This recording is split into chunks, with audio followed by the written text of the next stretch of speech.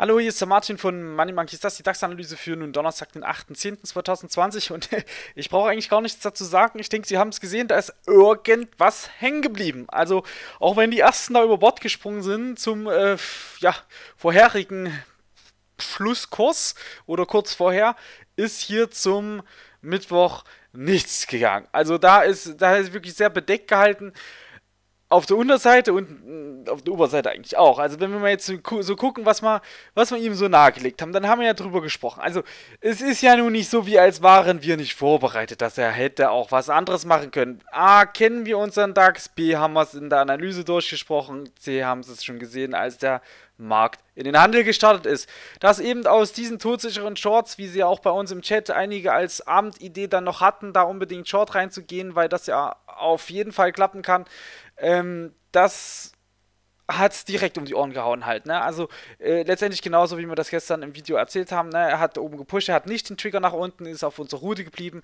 und damit ist er auch noch auf unserer Route geblieben. Deswegen können wir es eigentlich kurz machen und hier einfach zumachen. Ich könnte hier einfach zumachen und einfach sagen, ist doch noch auf Kurs, aber wir müssen jetzt so ein bisschen langsam auch mal ein paar Sachen ansprechen, die ja nicht ganz passen halt, ne?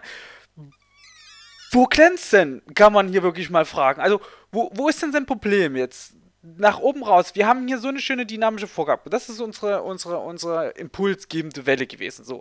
Normalerweise ist die dritte Bewegung, also die, die, die zweite Aufwärtswelle, ja, meist dann die tragendste, also die auch mit der meisten Dynamik, mit der größten Ausprägung, mit dem schönsten Punch, mit dem meisten Zug. Puh. Ja, also das haben wir nicht. Das haben wir definitiv nicht. Möglichkeit wäre, er fächert es irgendwie auf, drückt es in die Breite, aber warum, wo, wo es denn? Warum nicht 9.30 Uhr einfach oben raus? 13.000 und mehr. 13.000 ist da alles möglich gewesen halt, ne? Er stand hier schon, äh, kam mit schicken Aufwärtsgap. Ich glaube, da hat da einige überrascht gehabt. Ich möchte auch wetten, hier sind einige direkt Short reingesprungen. Ich glaube nicht, dass hier viele in, in die Long-Position gesucht haben und trotzdem ist es ihm viel schwer gefallen, einfach die 69 zu überwinden. Ich sitze immer noch ein bisschen da und bin da ein bisschen. Warum hat er es nicht getan halt? Ne? Er hat sich da einen Doppel Doppeltop gestellt, ist nicht drüber, hat sich nicht mal eine 89 geholt, nicht mal eine 13.000 geholt. Ist einfach von dort wieder runter. So, als wir das gesehen haben, haben wir eine schon Premium geschrieben. Also, so wie der drauf ist, bestimmt nur runter auf 8,45, von dort vielleicht wieder hoch auf 12,49 und irgendwie zur Seite raus letztendlich ist es das dann auch tatsächlich geworden. Aber wo ist der Aufwärtstrend? Also, der hat das so schön ausgekontert. Ich finde das, ich bin etwas enttäuscht, muss ich sagen. Also, wenn der DAX das hört, ich bin enttäuscht von dir, DAX, ja. man, man, man, sagt ja so, dass es dann dem vielleicht doch etwas wehtut. Vielleicht kitzeln es ihn jetzt ein bisschen raus, dass er hier mal ein bisschen rauskommt aus der Deckung, aber da klemmt es noch irgendwo so. Und wenn was klemmt, wenn der Markt Scheu zeigt, dann ist er noch nicht bereit halt. Ne? Dann braucht er irgendwo noch ein Ereignis, was ihn auflöst. So. Ja, das heißt, wir haben jetzt hier von der Bewegung her natürlich so in gewissermaßen eine Pattsituation, weil um zu fallen fehlt ja auch nochmal ein neues Hoch. Um zu steigen, weiß nicht, was ihm fehlt. Ähm, vielleicht auch mal einfach nur ein schönes. Also wir hatten ja auch Aufwärtsgap, also bin etwas ideenlos, was, was ihn oben raus den Trieb geben könnte, den er braucht halt. Ne? Fakt ist, zum Donnerstag ähm, kann der DAX Übertreibung bringen, aber zum, DAX, zum Donnerstag wird der DAX auch oft zurückgeschlagen halt und ordentlich zurückgeschlagen, also eher so ein Hin- und Herschlagen. Das ist typische für den DAX. Den DAX zum Beispiel mal oben an der 1289 zu sehen zum Donnerstag, an der 1320, hier oben an der oberen Kante, die liegt jetzt schon nur noch bei 1335. Das wäre, das wäre legitim. 13 da einfach mal dran zu hauen, dann wieder zurückzuschlagen, vielleicht nochmal auf den Bereich um 11,850, äh 12,850 zurückzulaufen, das wäre typisch Donnerstag. Ne? Sollte er aber direkt tiefer reinstarten, ohne dass er oben diesen, diesen, diesen, diesen Schlenker macht, ähm, würde ich sogar eher sagen, dann vielleicht hier 12,810, Gap Close zum Vortag, vielleicht die 12,775 da mal kurz drauf und dann aber möglicherweise auch schon wieder dann der nächste Versuch oben raus halt. Ne? Ähm, das muss man zum Donnerstag einplanen.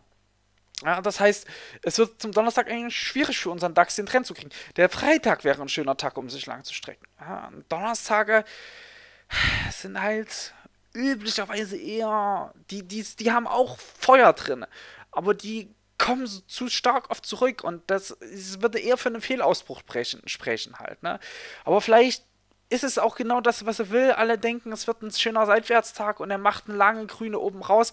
Fakt ist, über, oberhalb dieses Kanals bricht die Flagge.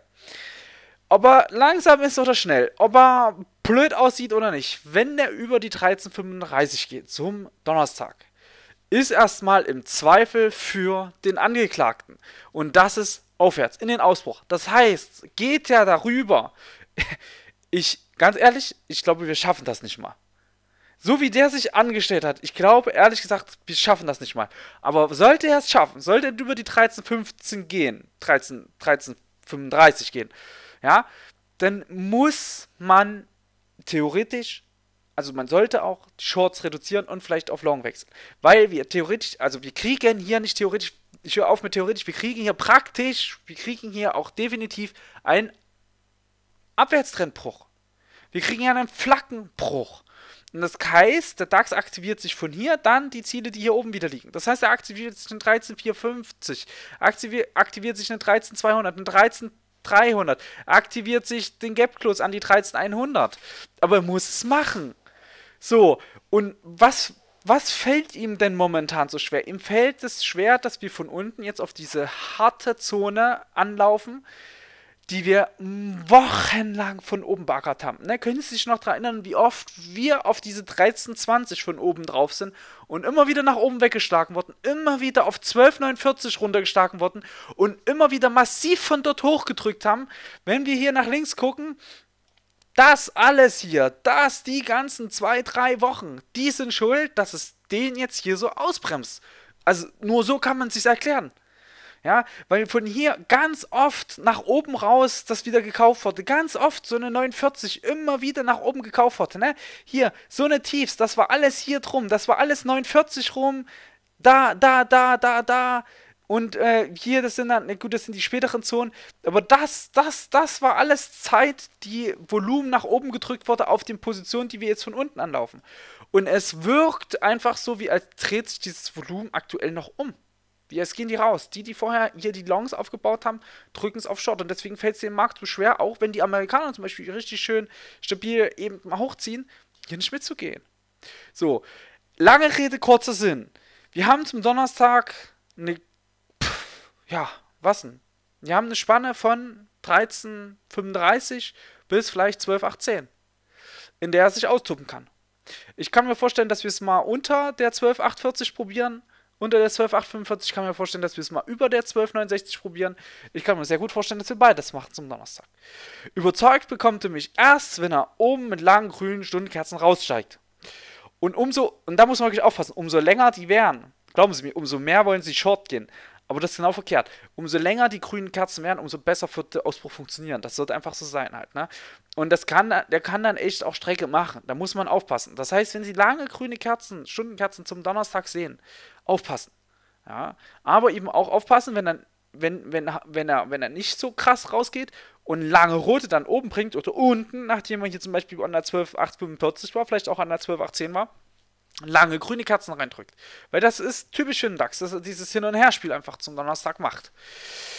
Ja, das heißt, wir können hier gar nicht so viel anpassen. Den Short Trigger können wir letztendlich da stehen lassen, weil kriegen wir da neue Tiefs rein. Kriegen wir neue Tiefs rein, bleibt es dabei, dass ein DAX wegsegeln kann, Richtung 12,640 nochmal. Ja, dass dann hier vielleicht so auch so eine Aufwärtstrendlinie da anbockt. Ähm, wenn man das jetzt hier so verbindet und wenn die dann bricht, 12,640 und tiefer, legitim. Dazwischen wilde Ausfuhrzone, wildes Gependel und eben diese Ausbruchschance, die ist und bleibt da. Ja, und das haben wir jetzt so lange durchgekaut und so oft besprochen, das wiederhole ich jetzt nicht nochmal und würde damit auch sagen, wir machen das hier zu. Wir können auch kurz in Tagesstadt reingucken. Sieht super schön aus jetzt. Das ist nämlich eine, eine schöne Vorlage. Ne? Die letzte Kerze haben wir gesagt, das ist eine Vorlage nach unten. Die Kerze, die zeigt schön nach oben, klemmt aber auch hier ums mittlere Bollinger Band noch ein bisschen rum. Aber wenn man das jetzt hier so sieht, würde man schon sagen, äh, kostet hier 13.100 jetzt zum Donnerstag möglich. Ja, und ähm, auf 2-Stunden-Chart ist es auch möglich. Es ist ja unsere Route. Also eine 13.100 zum Donnerstag, wenn er lange grüne Kerzen bringt, ist möglich.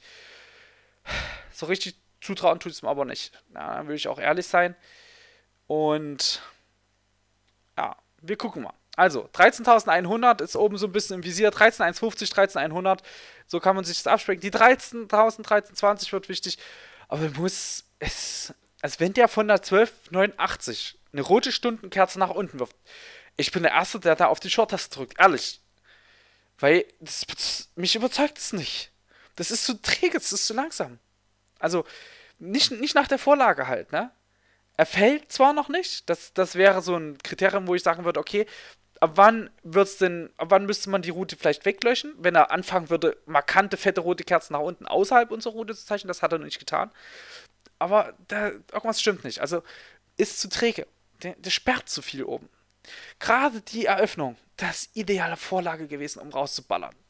Ideale Vorlage gewesen, hat er nicht gemacht. Hat er nicht gemacht. Ja, für mich ein Zeichen, er sperrt. Und deswegen bin ich sehr, sehr, sehr aufmerksam, sehr kritisch und gucke mir genau an, wenn der an der oberen Kante wegdreht, wenn er hier Neues hochmacht und den tritt wieder runter, pff, ist ein Short. Ja, unten genauso natürlich auf der anderen Seite. Wenn er unten Ausbruch macht, dann tritt es wieder hoch, long. Immer wieder in die Mitte rein, dann wird es halt eine Range. Ja, weil Trend, äh, er trendet nicht. Er trendet hier, also die letzten Tage, er trendet einfach nicht mehr halt. Ne? Das hier, so wie er hier angefangen hatte, letzte Woche, Freitag, Montag, das sehen wir definitiv nicht. Ja, gut, dann mache ich jetzt hiermit das Video zu. Und dann brauchen wir hier, denke ich, nicht erzählen. Drücke ihn die Daumen, gutes Gelingen. Und dann gucken wir mal, was es geworden ist. ich hoffe nicht, dass er dann bei 13.300 steht. Aber das würde mich, das würde mich, das würde mich zu sehr wundern. Also 13.100, das halte ich für realistisch. Aber ich, ehrlich gesagt, ich, mich würde das nicht wundern, wenn wir nicht mal die Flaggenkanne durchstoßen. Zum Donnerstag. Der einfach hier in seinem, in seinem Mittwoch drin rumschlägt. Mal oben ausbricht, mal unten ausbricht, einfach hier drin rumschlägt. Das würde mich am wenigsten überraschen jetzt zum Donnerstag. Ja, gut. Alles klar, ich mache aus. Viel Erfolg. Bis morgen. Tschüss.